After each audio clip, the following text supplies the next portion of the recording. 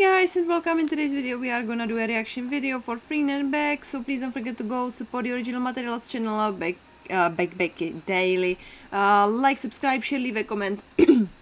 It's important for their support and uh, for uh, creating greater content uh, like subscribe share uh, as well if you wish you can support this channel through the same means like subscribe share we greatly appreciate it. And now let's check out the news. Becky with L'Oreal Paris sharing her daily hair care routine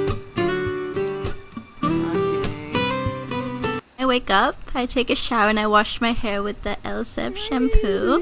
I use both the shampoo and conditioner. Mm-hmm. And then after that, I will use the hair serum of L'Oreal as well. It leaves like a shiny, glimmering finish before I actually start to do my hair for the day.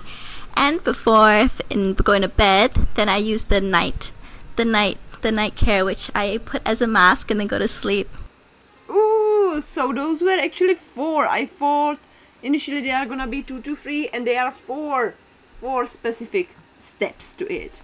Alright guys that's it. Please support the original materials channel like subscribe share. We greatly appreciate it and enjoy for now. Bye bye